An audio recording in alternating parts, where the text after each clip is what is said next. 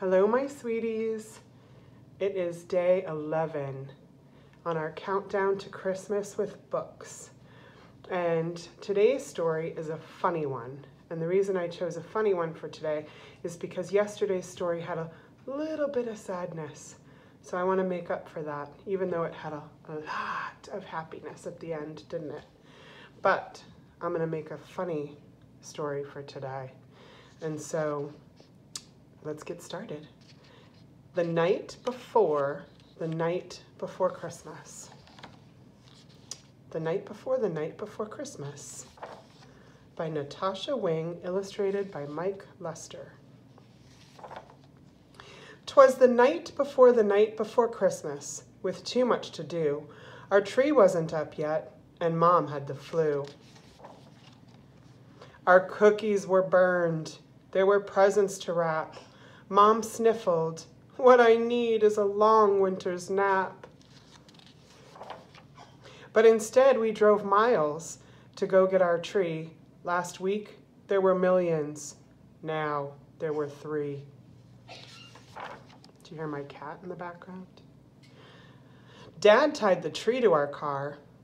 This will just have to do. Mom nodded glumly and sneezed. Ah, ah, achoo! We dragged in our tree through the front door. It dropped half its needles all over the floor. Just then, Patrick pointed to something quite shocking. Oh no, there were holes in everyone's stocking. Instead, we hung socks by the chimney with care. I hoped that St. Nick would fill up my spare. Things will get better, I thought as I crawled into bed. Maybe visions of sugar plums will dance in my head. Instead, I lay wondering, gazing up at the moon. What on earth is a sugar plum? Is it a candy or a prune? Early the next morning, I woke up from a dream. Be careful, Harold, I heard my mom scream. Out on the lawn there arose such a clatter, I sprang from my bed to see Dad on a ladder. He was stringing up lights on the rooftop and gutters, outlining the railings, the windows, and shutters. When he plugged in the cord, not a single light lit. Did we have extra bulbs? Yes, but none of them fit. So off to the mall our family did drive, when Dad saw the crowds, he gasped, Sakes alive! We searched every store. All the lights were sold out. But I found something for Grandpa, Silly Gilly, the trout. Finally, all day with our last minute shopping, we flew past the food court without even stopping. But I want to see Santa, Patrick said with a whine. We pushed through the crowd. Wow, what a line. It wrapped round the counters and down the first floor, then wound through kids' clothing and out the front door. After waiting for hours, at last, our big chance! Santa roared, ho, ho, ho! Then Pat wet his pants. Let's go home, we all cried, Mom, Patrick, and me. Even jolly old Dad sighed and said, I agree. So on the way home, we sang the Jingle Bell song.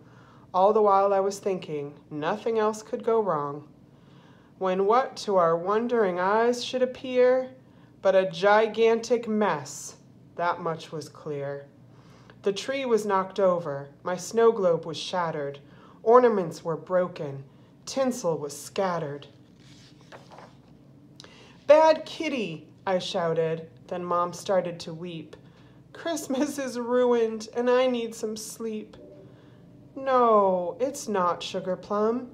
These things are just stuff. Christmas is about love, and we have quite enough.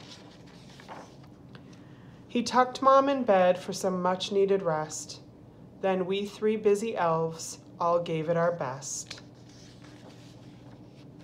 As snow gently fell, turning the earth sparkly white, I knew in my heart Christmas would turn out just right. Dad read us a book and gave us a kiss. It was my favorite story, and it began like this. Twas the night before Christmas, when all through the house not a creature was stirring, not even a mouse. The end. Pretty soon it'll be the night before Christmas.